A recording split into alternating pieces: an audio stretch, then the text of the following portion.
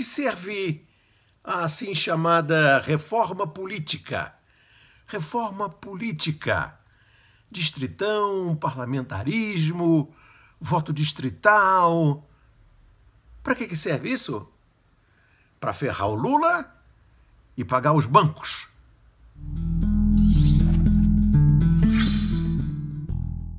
A reforma política quer o sistema do distritão.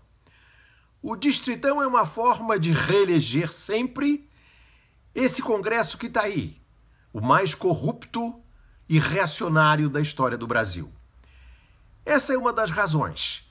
Mas lá no fundo, a verdadeira razão do distritão é ferrar o PT, ferrar o Lula e arrumar uma grana para pagar os juros dos bancos e dos rentistas. A reforma política também quer o sistema do voto distrital. O voto distrital funciona assim: você pega num estado, reúne todos os pobres, todos os negros e põe num distrito.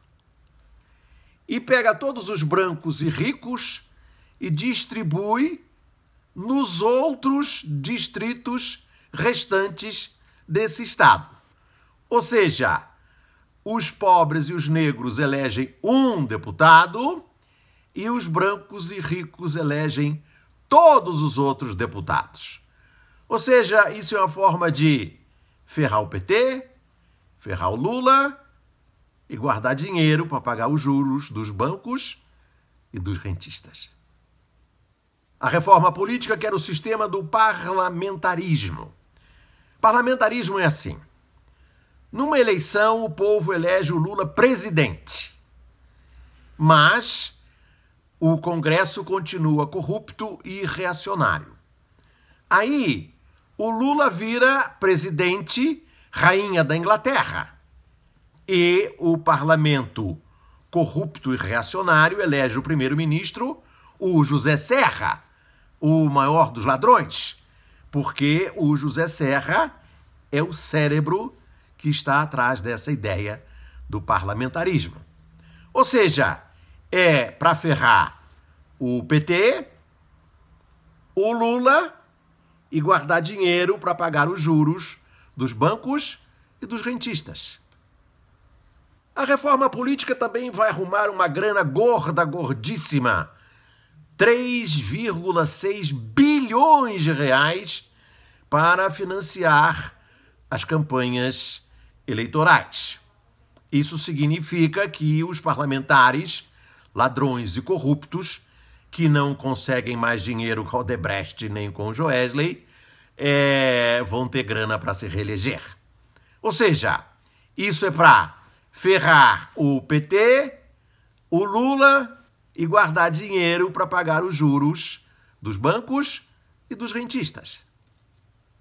A reforma política tem a cara da chamada reforma da Previdência.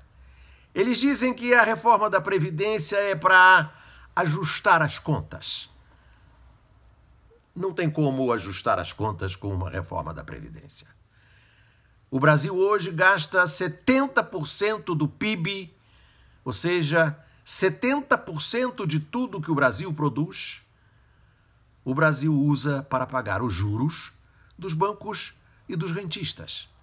Não há reforma da Previdência que resolva esse problema. A reforma da Previdência é para punir os velhinhos, nada mais é do que uma forma de guardar dinheiro para pagar os juros dos bancos e dos rentistas. É por isso que esse governo corrupto e ladrão não quer dar, por exemplo, aumento aos servidores públicos. De novo, é para guardar dinheiro para pagar os juros dos bancos e dos rentistas. Qual é a saída? Dar o calote na dívida, não pagar todos os juros dos bancos e dos rentistas. Mas para isso, é preciso tirar os ladrões e os corruptos de onde estão. Basta isso.